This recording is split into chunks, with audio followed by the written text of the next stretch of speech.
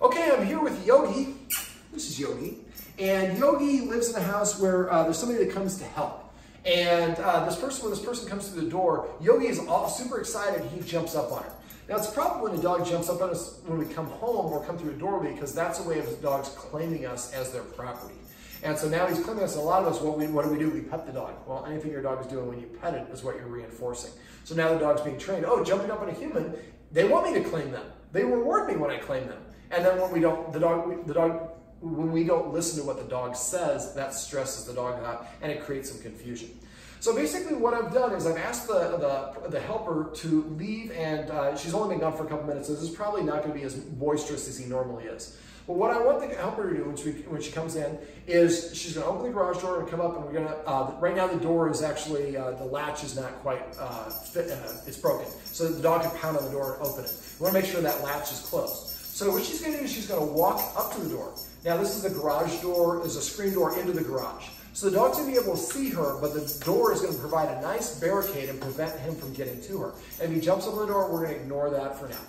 So what we're going to do is, and I'm going to explain all this and I'm going to walk her through it, but she doesn't know what she's doing. I haven't shown her this yet. So what she's going to do, is she's going to walk up the door, and Yogi's going to be there like jumping and barking and having a great, come on in, I want to jump up all over you.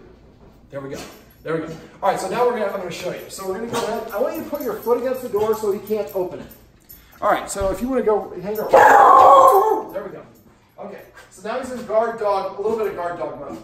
So, and, and, don't make any faces to him or do anything, just kind of hang out there. Now you have your foot at the door, right? Is this normally uh, the same behavior he gives you, or this is, uh, is he more unhappy?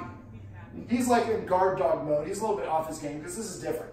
So what we're going to do, when he's all boisterous, you're going to wait. You're not going to give him any commands. We're going to wait for him to settle himself down. Once he, and, and he's probably going to be here, and then right back here, and walking around doing circles, and you know, all sorts of confusion. I know you're in guard dog mode. Different, that, that's he'll, he'll normally be acting differently. So basically what we're going to do is wait for that energy level to abate on its own. Now, once that's the case and his energy is kind of relaxed, what the, uh, the uh, helper's going to do is, I'm going to, in a second, I'm to, when I ask you to do this, uh, I'm going to point at you. When I point at you, I want you to jiggle the handle, but not open the door, just to make the sound. What we want to do is we want to teach the dog the behavior that is expected throughout this entire encounter. We look at this as one thing. We open the door and come inside. It's actually a whole lot of little steps. Sit. Here we go. Uh, you're not going to do that here. He's just kind of beefing a little bit, trying to settle. So when he hears the door, uh, or uh, first step is the garage door opens, and he hears that. Then he runs over here. That's step number two. Then he sees the person walking the door. Number three. And then he starts. Uh, then she reaches for the handle. That's number four. Then the sound of the the left button being pressed. Then the door opened a little bit, and then the person comes inside. We look at this one fluid motion, it's actually a whole bunch of individual steps. So what we want to do, for some reason it comes to dogs, we try to train them in the moment of doing it, which is the worst way to learn to do anything. We like to learn in a classroom environment, so we're, in, we're encouraged to try different versions of it. If it doesn't work, then we try the teacher's way. Hey, that worked. Okay, well then I feel empowered because I tried different ones. You didn't tell me what to do. I came to the own conclusion on my own. This really is a form of operant conditioning. So basically, once he's, his energy has abated, you're going to be standing out there. So when you do this, make sure, if you're the person who's doing this, make sure you've gone to the bathroom before you get here, and you have a cup of coffee or whatever so you can drink. It's going to be a minute. That's what you look for. Jiggle. And that's what's going to happen. The dog's going to hear that and rush all the way to the door. Yes, right now he's this he's a little confused because we've been working on a whole bunch of stuff. This is about two hours in the session. So when he does it, he's going to race to the door, and then you just pull your hand back and just wait. If he's really beef, if he's really excited, if I'm facing the door, I can like maybe turn sideways. And again, I'm not going to give him any corrections or any commands whatsoever. I'm going to wait for his energy to abate. When it does, jiggle it again and he's going to rush to the door. And we're going to keep on doing this step and this step alone until eventually the jiggle at the door, he's like, whatever, you're a tease, you're not coming in. And that, he almost moved away a little bit. So now go ahead and jiggle it and open it just a crack and then close it right away. And then close it. So now we're, the next step, I mean, it could be one step. If he's here, the first step might be just reaching for the handle. He gets excited. You might not even make it to the handle. So the first step, you might have to go back and forth several times, and each time make sure you reset your arm all the way down and wait for him to calm himself down. And then uh, I think we have somebody else that just showed it. Uh, so basically, The first step is just reaching. Second step is jiggling. Third step is opening a little bit and closing it, and then a little bit more and closing it, and then a little bit more. So you're basically just doing it gradually over and over again.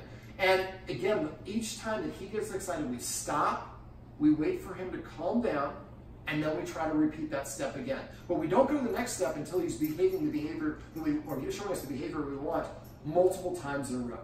By the time we actually come through the door, he's like, man, it took you like five minutes to come through the door. I'm, I'm over it. He can't stay in this crazy energy forever. And then when he comes in, we've abated the exercise uh, or the energy level. Um, he's kind of, we've conditioned him that the only way the person's coming in is when, the, when you're calm.